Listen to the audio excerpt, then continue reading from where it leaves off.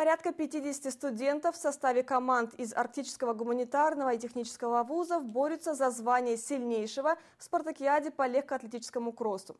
Чем закончится вечное противостояние гуманитариев и технически подкованных студентов, смотрите в нашем следующем сюжете. Денис Лихокраев легкой атлетикой занимается всего год, перешел из секции по биатлону и хочет развиваться как спортсмен.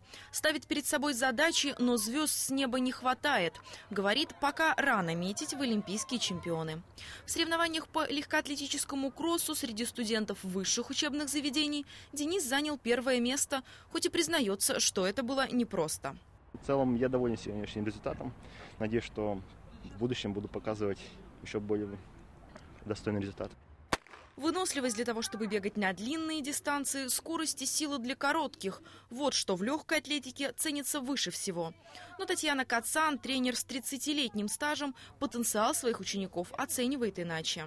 В первую очередь должно быть сильное желание. В любом виде спорта, не только в легкой атлетике.